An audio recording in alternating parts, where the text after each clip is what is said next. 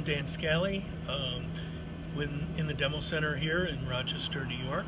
And today we're going to show you how to change color in the fifth station of the new ZX 3900 Nexpress. Um, so if you look at the front end here, um, you can see that we have opaque white installed right now in the fifth station. We're going to actually cycle the press to error mode and uh, once we're in error mode we'll be able to uh, open up the press uh, and then change the color to gold. Um, now uh, what's involved in changing the fifth color it's a two component system. There's a developer station in the front and a replenisher unit uh, with the color in the back of the press. Um, so now we're, we're, we're in pending mode and uh, I'm going to open up the press. So now we've opened up the press um, and you can see our process colors here. The fifth station right now has white in it. So we're going to remove the white developer station. We're going to do that first.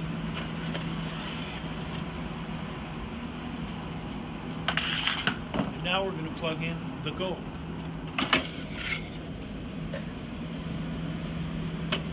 And this should only take about five minutes. So I'm going to leave the developer station just a little bit out and then we're going to go around the back of the machine and plug in the gold replenisher unit.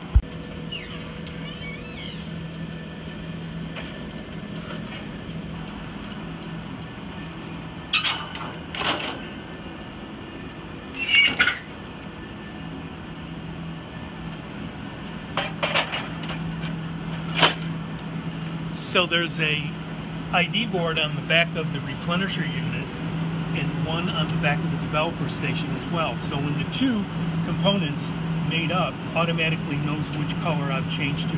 So the front end now should have recognized that I'm going to change to gold.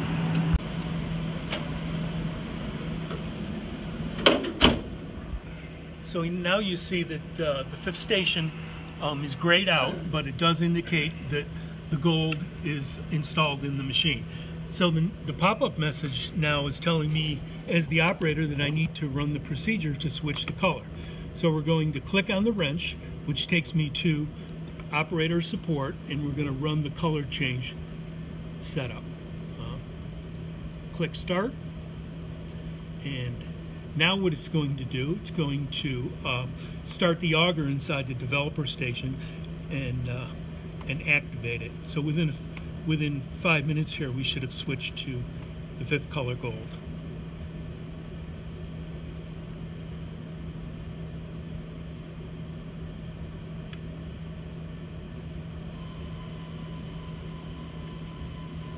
So the routine is now running. And once the routine is finished, we will have switched to gold.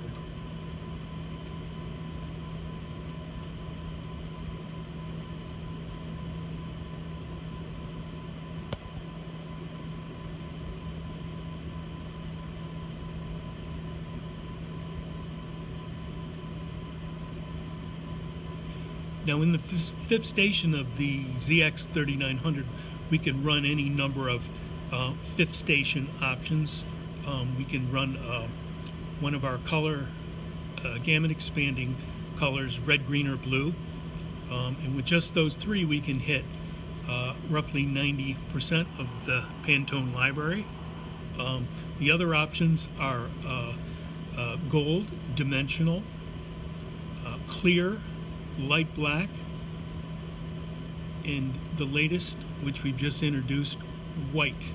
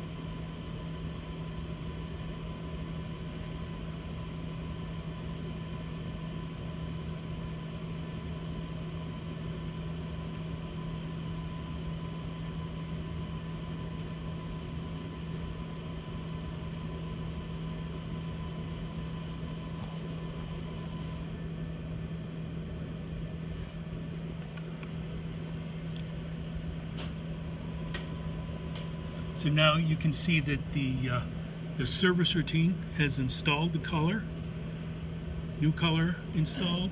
Um, you've switched to gold. Get out of service session.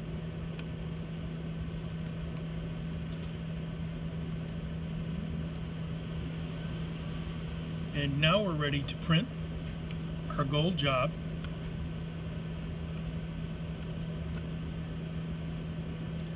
There we go.